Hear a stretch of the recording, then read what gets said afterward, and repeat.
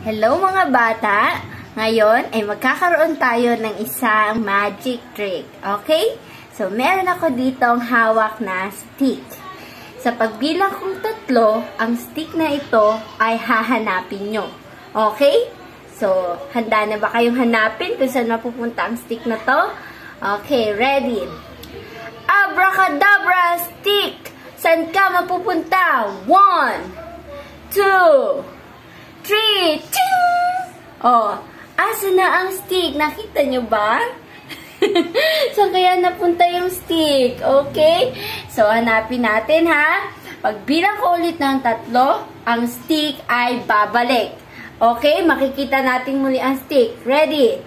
One, two, three, abracadabra, stick, bumalik ka! Ting!